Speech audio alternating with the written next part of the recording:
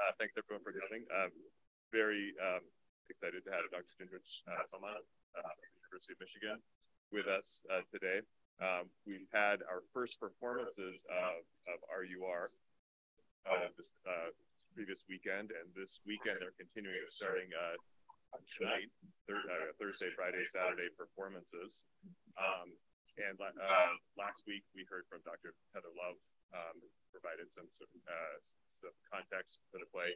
Uh, and Dr. Toman is going to uh, really provide some uh, unique uh, material on the background of Karel Čapek, the, the writer, um, and his milieu and, and, and sort of the, the, the foundations for, for this, this amazing play.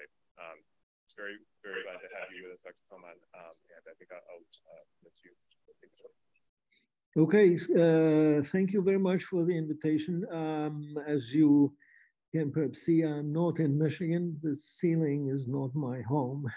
this is this is the University Hotel uh, of uh, in Prague, Charles University in Prague. I am in, in Prague right now. It's six o'clock or six ten in the evening. so now I thought about dividing this in three parts, uh, not quite in the same way as it is in the abstract. I would like to start with the Golem story and then go to the RUR story and then go to the system story. So, and the overall argument, kind of um, overarching everything, is the question uh, whether were uh, Karel Čapek and his brother Josef. They were very influential. They were very important authors, and uh, Josef was uh, was an artist actually, also an important modernist art, artist. artist. So the the overarching question is where, how how come that they started this RUR story? How come that they where did it come from? And one uh, part of the talk would be uh, a reference or comparison with a film about the Golem. And the reason, uh, I'll talk about this a little bit, but uh, the reason being that the Golem is named, the film is 1920 and the, the RUR is 1921 technically January 1921. So it's kind of side by side there. So do we have any cross connections or whatever? We can discuss that. Overall, however, this is, uh, you know, this would be a, a large, large story about uh, what was happening at the beginning of the 20th century. There was definitely an enormous interest, or enormous, let's say, visible, significant in interest, especially in the arts, in, in the status of technology. And uh, we have uh, all sorts of um, theater performances with mechanical artists, uh, uh, actors. We have, um, in, if, if you uh, remember the Italian futurism, we have an enormous interest in in the interaction of man and machine.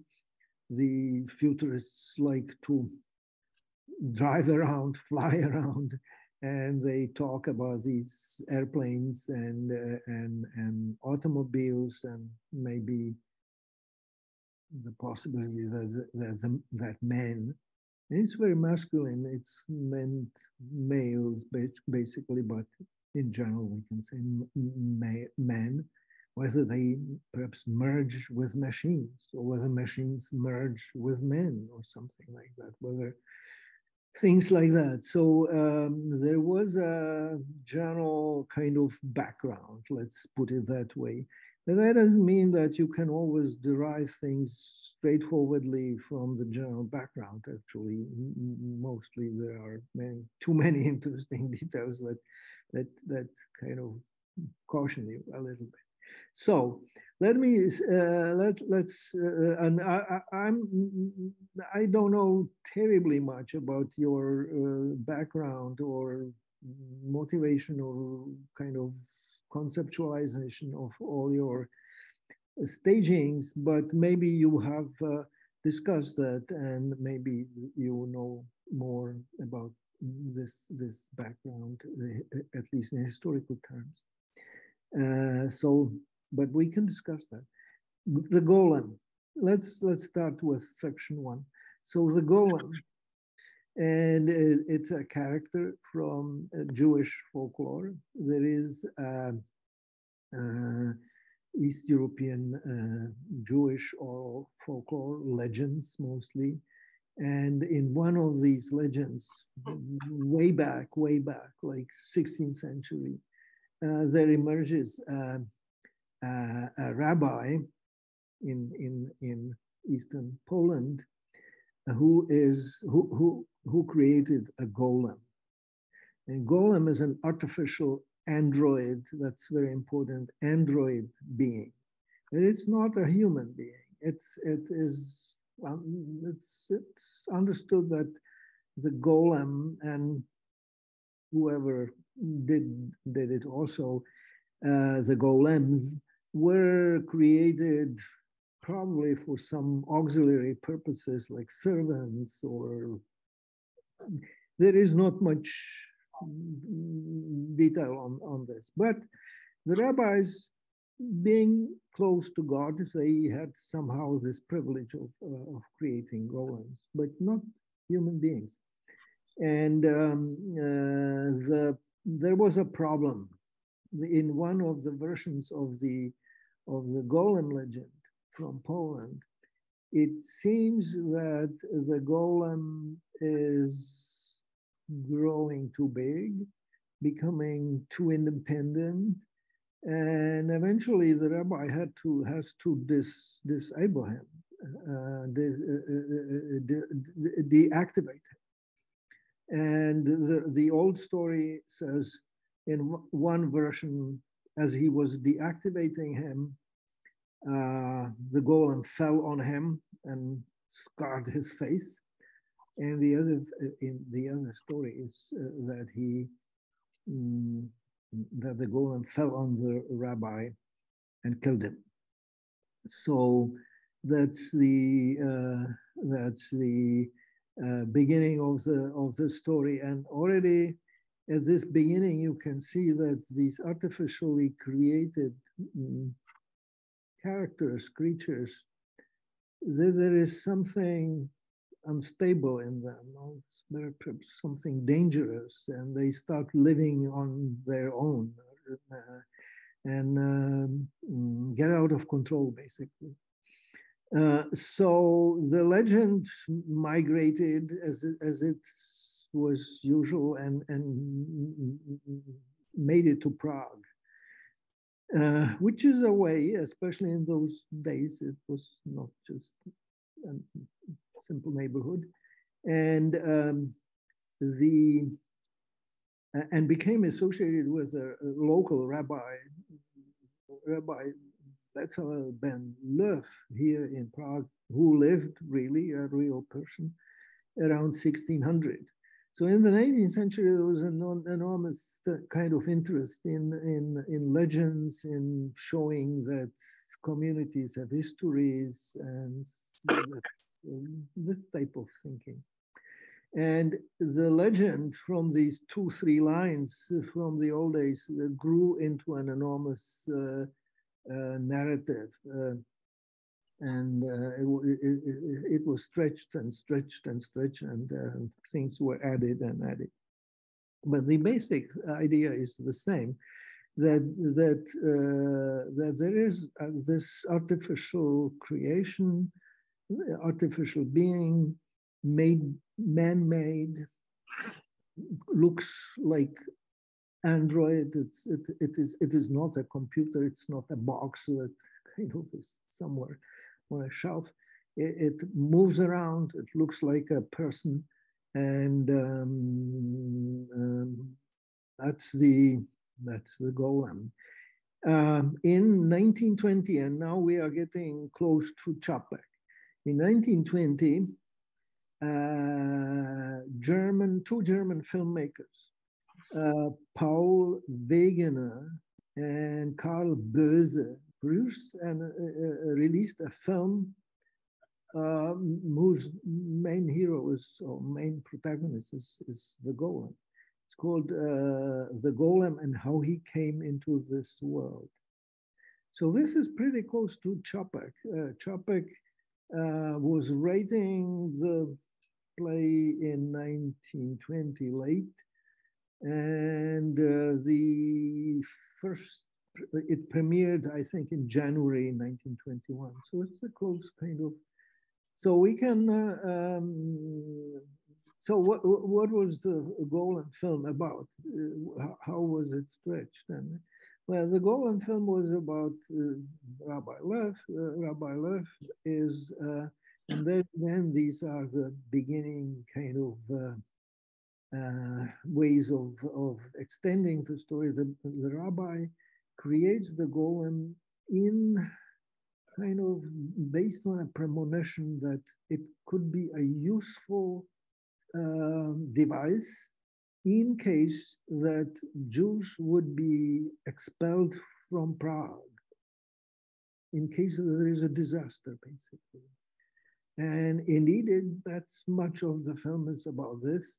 Uh, the, the rabbi shows the golem to the emperor, uh, the golem actually saves the emperor's life in a, in a specific situation there, and so the emperor is um, is recalls the the the expulsion uh, uh, decree. So so the golem in this story saved Prague Jews from being uh, uh, uh out from Prague.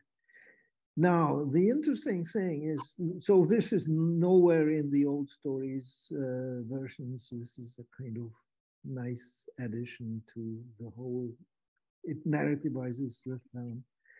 And what is interesting during the, the, the film, the golem, and that's a very interesting, that's really connects with Čapek. The golem, so he does not talk he is very clumsy. He does not, his appearance is really repulsive, actually. It's a clay figurine. Uh, but he acquires human traits. And the main trait that he's acquiring is emotions. And the main emotion that he is acquiring is love. He falls in love with the rabbi's daughter. So this is a total invention, absolutely no mention of Rabbi's daughter in older uh, versions of the story, but fine, you need it in the film, you know, you add some romance and stretch, stretch it from 60 minutes to 90 minutes and that's good. So that's what you need. So the, so we can treat it the two, uh, several ways. We can uh, look at the at the film in this context, uh, created man-made uh, device, kind of really machine or something like that. So this would go with this whole industrial, technological, etc., etc. development, or it's actually not exclusive. Uh, uh, we can add another level and say the film is not only about technology that gets out of control. I, I should have said right away that the, the, story ends badly in at some point. The golem is uh, starts raging and the uh, the the I should have said that right away. Uh, he the, the, the this love story is an, uh, is a tragic love story etc etc so the golem gets uh, acquires human traits, emotions, but actually he is uh, he becomes dangerous and gets out of control. So uh, we could leave it at this and say, well, this here here you have technology that gets out of control, basically, to translate it in, into some modern um, uh, concepts.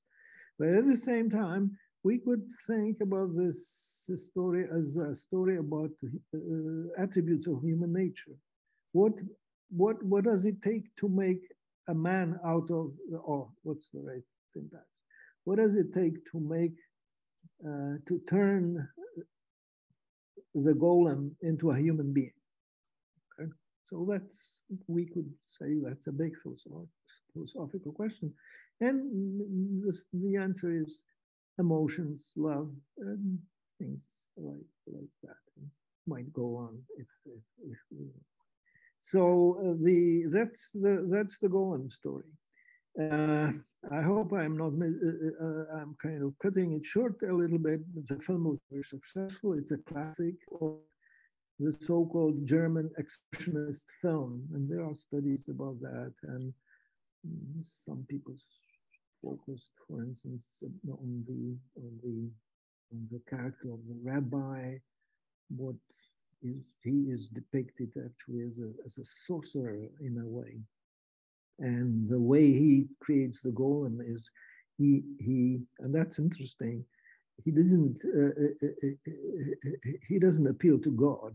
He appeals to dark powers to dark powers um, um, black magic so that's an interesting saying that these new inventions yes you can you know make a headway but you have to appeal to to spirits, black magic, and things like that. So there is already this this line of of danger, instability, irrationality, and that's already there. So the film was a big success, and uh, it, and there's practically uh, it's hard to think that Čapek would not, uh, Karel Čapek would not see that. So uh, we are in 1920 he's rating uh, this, this RUR. It premieres January 1921, so probably shortly after the Golem film. And um, what is it about? so you probably uh, uh, know it better than I do because you you you you must have uh, studied it for the for the um, for the staging for the for your adaptation. So the film, the, the story, you know it very well, but let's let's uh, state a few uh, minor points or a few, few uh, kind of turning points there, and uh, that is that the, um, the, the whole history of of how how Golem, uh, uh, sorry, how the robots were uh, created. And remember, at the beginning, there is this history. This guy Domin, who, who is the boss of this factory, robot factory, he gives this Helena a, short kind of lecture. There are three stages. There was an old Rossum, and he was a scientist, wanted to simply uh, uh, play God bypass laws of nature, make everything clearer, simpler, develop this formula. Uh, and he was, as a scientist, was not very successful. Uh, that is, he's created the formula, but that was it. His successor is there, the young uh, uh Rossum, and he is an engineer. And that's a very important thing. There is a difference between scientists and engineers the engineers don't really care about principles they at least in that conception they, so the the uh, the engineer took out everything human like out of the robot everything that was not useful. So there is a utilitarian kind of approach. So this and that was robots were meant to be workers, to be uh, basically walking machines, and for that you don't need a you know you don't need many human attributes. You just need. And then there is this Domin. There is this third stage, and he has a factory and that produces them as, as, as robots. Now, there is this interesting moment, and I, I never figured that out actually, that these uh, the, these robots, and and he's producing them like it's a mass production, it's a conveyor belt production. They have the formula, they have uh, everything they need, so they just uh, produce them by by thousands and thousands and sell them by thousands and thousands. So uh, the there is somewhere a point when these robots start acquiring human features, human traits. And uh, that's very similar to the golem story. This, there is the same process. Uh, the, the, the, the, the, uh, the golem becomes human, acquires emotions, develops emotions. And uh, this, it's basically the same in the RUR story. The robots start acquiring human attributes. And the story here is much richer than the golem story because the uh, the mm, they acquire emotions they at the end can fall in love with one another uh, but uh, you may remember this episode with what is his name robot robot I, radius i think Robot Radius acquires another pro human property, aggression, aggressivity. He wants to rule. He, he becomes violent. Uh, and, uh, and so the acquisition of human uh, attributes is much kind of uh, broader uh, than in, in, in, in the Golem story. Well, at any rate, I don't know how you handle that or in your staging, but at the end, the robots, or shortly before the end, the robots revolt and kill the mankind. And they do it with the intention of um, of uh, being um, being superior, being, and that's another human intent kind of property you might argue for. Uh, they want to uh, they, are a new superior race. That mankind is no longer useful, and they will run the show themselves. The only problem is that they don't reproduce, and they don't have the formula. The formula was that's an interesting episode. Tell me then later how you handle it. The formula was burnt and destroyed, and so it turns out that of has a shelf life of, I don't know, 20 years or something like that. And then the robots start. There are no people around, but the robots also disappear. Uh, then the Čapek solved this problem also in this way that robots would require would would um, um, acquire human features, and that then eventually they would fall in love with one another, that there would be a distinction in gender. He, he doesn't say how that proceeds, but uh, and and the robots uh, have uh, um, at the end they uh, they start uh, multiplying, they start reproducing, and so th there is a happy end there is a kind of a cycle. One mankind goes away and the next mankind steps in, so to, so to speak. Uh, this technological invention got out of control. It revolted. It killed mankind. But Čapek was uh, Čapek uh, ended on a on a on a on a positive note. So these are just uh, some few uh, uh, clear points in the in the in the play. Now, the question is, was this, so what is the connection between the golem and, and the, the robot? Well, obviously there are some clearly descriptive, uh, I mean, clear uh, moments. Uh, one is the golem is one person, unique, or, or a person, entity. And uh, uh, the robots are millions by the end. And there is a, uh, there is a kind of illusion. Remember, we are in 1921 new world is beginning, the world one ended.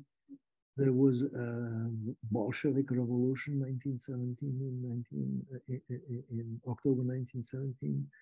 Uh, there was a lot of political issues, a lot of social conflicts, and, and so on.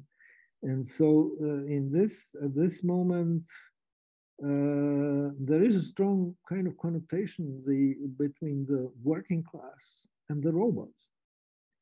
And the robots, uh, so the, the, the, the, staging was a sensation. It, it immediately made it to, uh, to Berlin, to Paris, to London, to New York. So in the years uh, 22, 3, 4, 5, there were stagings everywhere, and and the and Čapek became a famous author by, by, by that point.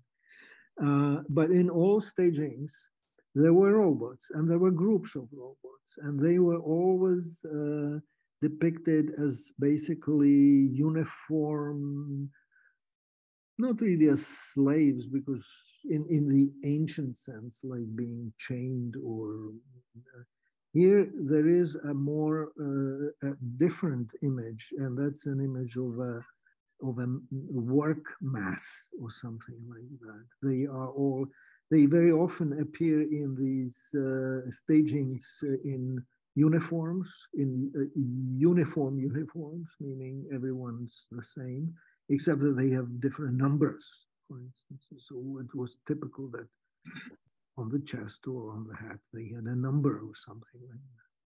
So there is um, this, this uh, so there are several lines in this story, in this uh, story. One is, I would say, these attributes of human nature. How do you get from a robot to a human being?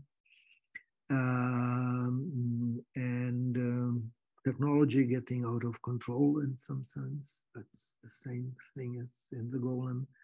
And then there is this um, kind of uh, allusion to to to working class, to uh, to this entity, this this um, in how should I say that uh, to this mass of of workers who do all who are totally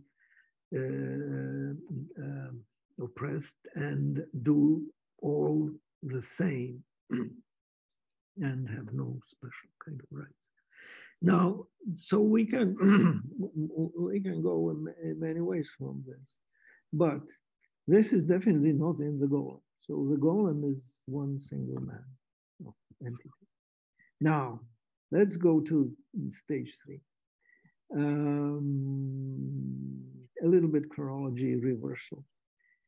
Uh, when did this or when did all these motifs in RUR come up? Uh, or how did they, how did uh, Čapek, Čapek, put them together or how he created the play? And we, that's kind of uh, naively, of course, you always want to know that, but here we are in a kind of a very interesting situation uh, because this was not written out of scratch. The uh, uh, Karel, together with his brother Josef, wrote uh, wrote uh, wrote a short story in 1908. So we are going well before World War One. Uh, mm, called System of the System. I'm not sure, but the article should be there. And it's a strange, satirical, bizarre story. Um, I don't know whether you had a chance to look at it, or I, I don't think it's translated. Uh, and the story is this: the two, there are two guys. Obviously, the he co-authored it with uh, Josef, so it's obviously the voices of the two. There are two guys who are, who are thrown off a boat for some misbehavior and then there is another guy who is kind of sorry for them, and he is thrown off the off, off the deck as well. So there are three men uh, floating with these safety belts um, in uh, in the sea, slowly kind of drifting towards the towards the uh, coast. And the man is an entrepreneur. And they start talking about various things, and one of them is the worker problem. And the two guys said, oh, that's a terrible problem. The 19th century created these workers and the industrial and all these, and, and they throw up. And the guy says, ah, yeah, well, all right, but I managed that. I have a system. I overcame the, I solved the worker problem. And he tells them what the solution is. And it is, it's a bizarre story because they are eh, kind of waves are coming and, and moving them towards the, but they have this conversation. And they, and he says, you know, I have a big factory, 22,000 workers. And we select them in a very special way. We select only those who don't think. We have special tests in order to make sure that they are not interested in poetry, that they are not interested in anything uh, philosophical, political, or anything like that. And we have tests for that. And when they uh, when they pass the test, they are hired. So the, here, I, I think one can argue relatively plausibly that uh, the robots are not man-made but men selected, so to speak, so that there is a way of selecting from the population something like robots. And he says it works perfectly well. Uh, there is, um, there is, um, um, the factory works very well, and the, the worker problem has been solved. I have, I am the only head in a factory with 22,000 arms or something now, he then, however, admits that um, the best workers, and, and this is a bizarre kind of story, that the best workers are awarded with access to women. And uh, however, this so-called access to women for, for um, as an award uh, has there are strict rules, and uh, the the the encounters have to happen under total darkness. Nobody has to see anything. Is allowed to see anything at night, uh, darkness, and so on. And in one case, it unfortunately happens that the, uh, the, the worker who is awarded with uh, access to a woman is that the, that light is not turned off. And he is inspired by uh, the beauty of the woman. In, there are never words like prostitute or kind of how is it? The details are not there. Uh, uh, he is um, he's impressed and he starts to develop uh, uh, exactly it's the same story as as before. Uh, feelings. Human feelings real human feelings. So he passed the test of being an imbecile basically but now he is interested he becomes to be interested in poetry in uh, music uh, this and that and then other workers um, kind of cheat, start cheating and use light during these encounters. In the end, uh, there is a revolt. They all become, uh, they stop being these, this type of workers that pass the test. They start reading books, they start uh, uh um, um uh, all sorts of activities from choral societies to sport clubs and things like that. So everything, uh, so the, the, the, the, the, the system actually breaks, breaks down. The system breaks down.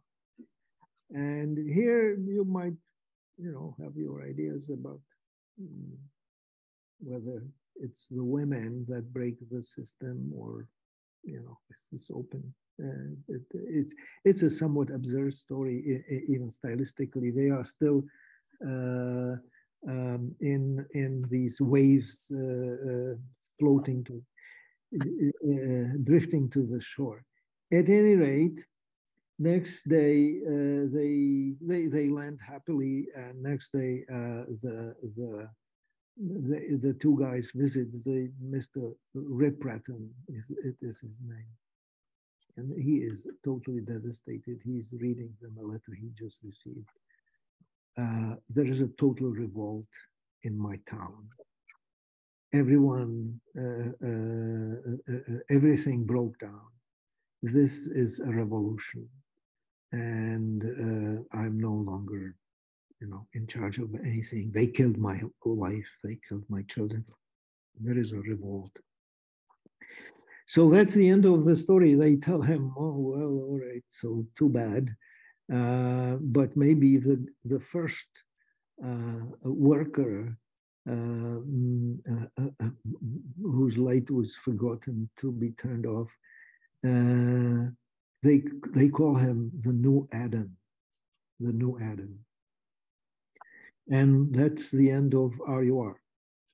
So uh, if if you uh, if you are interested in kind of um, comparative analysis in comparing these two texts, you will uh, you will get a lot of material. And in some sense, one could say that RUR was written already in 1908 by the two brothers, that the story was there.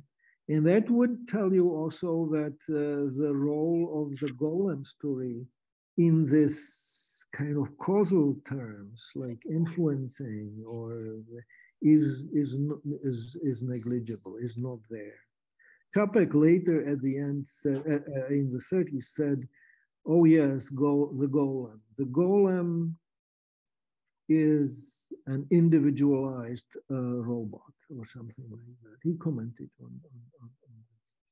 So, uh, but um, it, there is no reason to think that he kind of went to the movie theater in uh, 1920 and then wrote RURs under the impression of the golem. There, there is a huge difference. There is this system story and uh, the system story is basically RUR in many, many, many ways. So that's my comments. That's uh, here. I would uh, be happy to mm, answer questions, discuss whatever you want.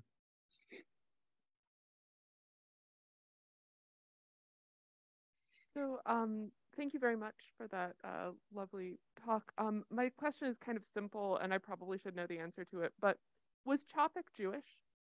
No. Okay, thank you. no, no. The the story, the Golem story, was of course a Jewish story, and it was presented uh, uh, as, as, as, as part of the legacy of the especially of the Prague ghetto. But, uh, you know, I think there was pretty clearly, pretty early on, it was clear that it can be read on a universal level. That it can, that it's not just a Jewish story, that it's that these basic motifs like technology getting out of control, attributes of human nature, how do you make these that, they had a, they have a very communicable quality. You, you don't, uh, you know, there were these advertisements in New York uh, like 40 years ago. You don't have to be Jewish in order to uh, to eat Jewish rye bread. so, so this is um, you don't have to be Jewish in order to understand the Golem. I have a question that I've been uh, wondering. Uh, when um, a Czech audience heard the word robot, yeah, that, has meaning in the in the Czech language, and I'm, I'm I've always been curious what associations would uh, you know a, a Czech audience mm-hmm. yeah. with, yeah. That, with that word. Yeah, yeah, yeah. That's a very important question because uh, the play, you know, is. Do we know where it takes place? Do we know are, are these characters? Are they Czechs? Are they is is when is it happening and so on? So it is actually one of the first international plays. I am using this expression for, for short of a better expression for, for, for lack of a better expression. Uh, so it was one of the first Czech plays that could not actually be easily uh, identified as a Czech play. why, why, why, why is it a Czech play? It's not about Czech history. There are not Czech peasants running in the fields there or anything like that. Uh, people have modern um, attires and so on. But there are two points there that reveal uh, that kind of hidden traces. One of them is uh, um, um, robot, is the word robot. And this, uh, the, the root of this word is a Slavic root. And in Russian, you may perhaps you know this uh, mean uh, rob, rab means is, is for instance in the word rabota, which means work, simply work. And in Czech, there is a semantic shift. Uh, robota is uh, serf labor. This is the, uh, the, the forced labor that, uh, that the, uh, let's say, serfs in the 17th, 18th century were supposed to uh, provide for, his, for their lords. So it is um, uh, it's a neg- it, it, it means uh, hard work, uh, toiling, forced work, basically slave work or something like that. So the the but uh, that's robota and robot was a neologism, and it is usually said that and Karel Čapek said that himself that it was invented by his brother who's, who was a co-author of this system and was they were very close, close kind of. So that's one thing. And then there is this Rossum. And this Rossum is maybe less transparent uh, or, or, uh, clear, but um, the Czech there is a Czech word rozum with z with a z, and that means ratio uh, um, um, rational thinking. Uh, and indeed, the old Rossum was a scientist. He was uh, he was he invented the formula. He had scientific ideas and and so on.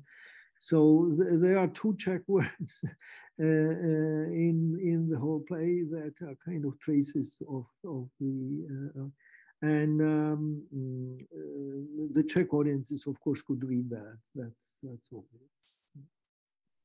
Um, hopefully, this won't show how naive I am, but um, I always look for the moral in these stories. And you know, I remember the Golem story as a kid being, you know, man shouldn't do what God does, and that terrible things happen.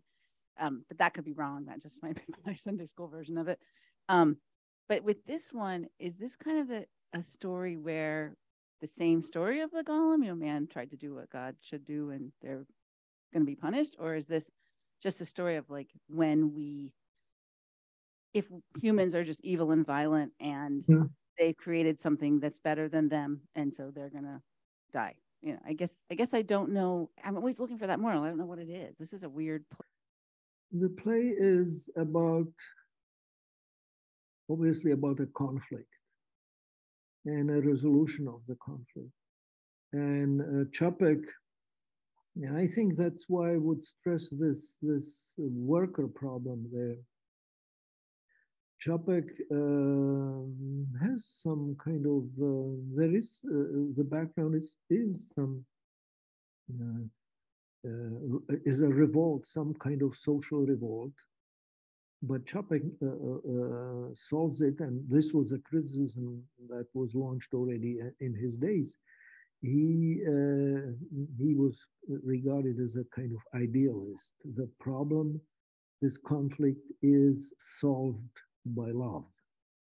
uh, by um, um, uh, he a statement, the final statement is a very pathetic statement, and it says uh, simply, it, it, says, in other words, humanity will not die out.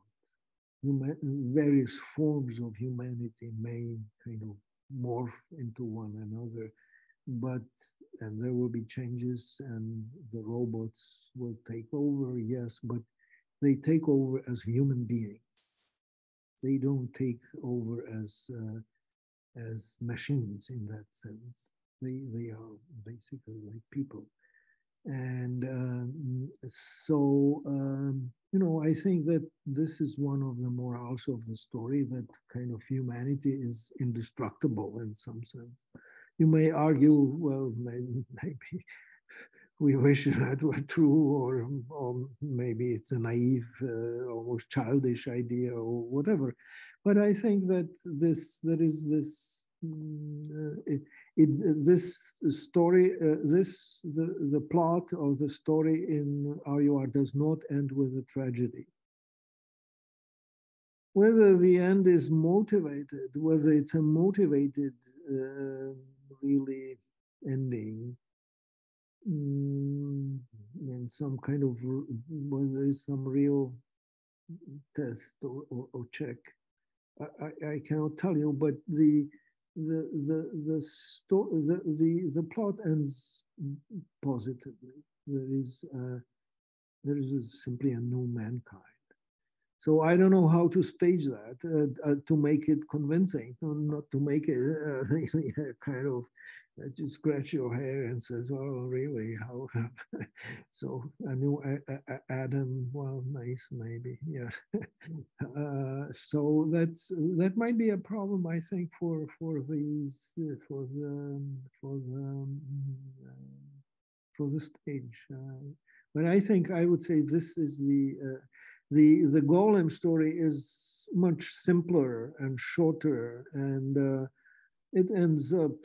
You know, in the film, it's also stretched into a positive end, actually. I, I have you watched the film uh, um, as a kind of background? Do that. It's all on. Uh, it's all on YouTube. There are several versions. They are more or less the same uh, time-wise, like uh, one hour, twenty minutes, or something like that. Uh, small differences. There, is small versions edited, colored, and, and so on. But um, it would be a it might be maybe too late, but it might have been a good background for the for the for the thinking about the uh, the the play. It's um, and it's fun to watch. It's, it's this kind of silent movie, uh, expressive. Uh, uh, we, we actually have the director of the pr- uh, production of uh, uh-huh. right here uh, with us. So, uh, Christopher, you want, you want to? yeah, yeah. I, I would love to hear um, something about the production. I know, for instance, that many years ago, maybe 20 years ago, students at USC uh, California, uh, staged this play, and there was, of course, an enormous interest in robots. So they they had uh, all sorts of uh, weird uh, kind of devices walking around and so on. So there, there, that's one. I think I can imagine the attraction on on that line. Yeah. Uh, so we worked with Lee Shackelford, who uh, adapted it for an off-Broadway production in I think 2013. Um, and the production we did is uh, one that he adapted during COVID for uh, as a radio drama for doing a live produced radio drama. Uh-huh. in terms of some of the things we've been talking about here, that the idealism of the ending is is uh, interesting, um, and sort of its um, is so sort of religiously founded in the Adam and Eve and, and all of that. But it's one of the things that I think I find really interesting and that we've really highlighted through this adaptation is that interplay between love, rationalism, um, uh, idealism, you know, you said it ends with this idealism, but it also sort of starts with idealism. You know, this idea I'm going to make the perfect worker, and there's not going to be any problem. Yeah, yeah, yeah, that's a very important uh, thing there. That uh, the the third guy, the Domin, the, in, in this uh, uh, uh, line of generations, that he is a he is not a pure kind of uh, this this is not meant as pure capitalism. This is meant as as I think that actually the the the the the, mm, the inspiring person might have been Henry Ford. You know, mm-hmm inventing something for the community and of course selling but uh, uh, so there is there is a vision yeah yeah and i think there's there's a bunch of different sort of visions because you have engineers represented you have scientists represented you have the businessman represented, and you have a couple of female characters that in the original are not really well portrayed mm-hmm and we've changed quite a lot having to do with the female characters, particularly his wife Helena, and giving her much more agency and intelligence. But it does seem that that a lot of what's going on there is um, uh, that. I mean, the idealism, and then not having to be within an environment in which it requires all of these disparate experts in different areas to actually do and accomplish something which is in total contrast to the robots, um, where and this idea of what is labor that we've been talking about here a lot, um, and then also sort of the needing to um, root that idealism, maybe question it, you know, and and reevaluate and revise and adjust to um, new circumstances and an ability to do that. Mm-hmm. Um, you know, and so sort of idealism taking us places, but then mm-hmm. not being able to shift direction and it's too mm-hmm. late, not being able mm-hmm. to really work with, receive the expertise from every team member when you need to receive it or adapt to what's mm-hmm. Um, shared with you that may not mm-hmm. fit the the direction you're on, um, changing direction in some way, and then that change becoming violent because you couldn't do it and it was just mm-hmm. yeah that's interesting i i would only kind of um, i'm i'm thinking about this re- religious the, the religious interpretation of the ending I don't think it's religious. They were not the the two brothers A were not religious in the first place, but uh, that's not so important. I think that they are using simply a general kind of generalized cultural imagery, a new man. So a new Adam or some something like that. It it does not. Mm, mm, mm, I don't read it on a. It it it's a it was a shared kind of vocabulary. It was everyone knew who how the mankind began, at least in according to that myth and uh, I think uh, he is using this, this, he's kind of recycling that myth without, and, and, and its language without meaning anything super religious or something like that, or yeah. Christian or Jewish or whatever. So, uh, and the what you touch upon uh, uh, labor, I think it's interesting because um, I think that they, if you think about the plot and development and uh, this whole idea of, of the of this guy Domin, the, the, the, the his main idea is uh, is uh, that everyone that uh, uh, uh, people would stop working, that work would disappear because it would be taken uh, care of by by robots. And I think that one could argue that this was one of the uh, of the uh, beginnings of the disaster, uh, and that this idea, this uh, um, that the play actually shows that one of the human attributes is work that people cannot be deprived of that attribute. And they and the hero, the remaining hero, the remaining protagonist of the play is this guy Alquist. And why do robots like him? Well, he works with his hands. He is an architect or builder or constructor or something like or bricklayer, and he works with his hands. And they, they, I think they like that. Uh, that's why they save him. He is the only one who is saved, uh, although he is incompetent uh, in terms of like chemistry and things like that. So I think that there is. Um, and that, that I would say in the Golem story, you don't find that. The Golem story is too simple. But here you find a number of kind of, if, if you want to write up a checklist of human attributes of human nature or something like that, so you would probably add labor, that people want to work, want, have creative work, uh, like he is a, Alquist is a creative man and so on. Well, and even if we look at Domin, his uh, the main value that he sees in his life and his heritage and what he's done is his work.